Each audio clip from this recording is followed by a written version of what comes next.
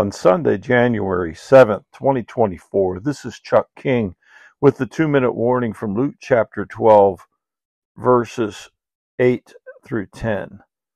And I say to you, anyone who acknowledges me before others, the Son of Man will also acknowledge him before the angels of God.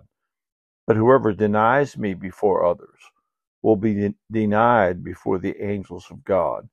Anyone who speaks a word against the Son of Man will be forgiven, but the one who blasphemes against the Holy Spirit will not be forgiven.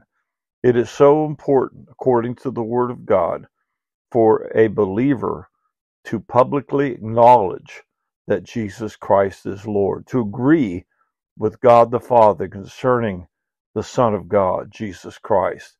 And if we do acknowledge him, if we do confess him before people, then that we believe, then Jesus will acknowledge us at the day of judgment before the Lord.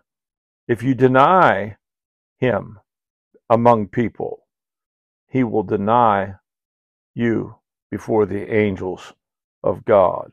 And then we have this word about speaking evil or blaspheming against the Holy Spirit.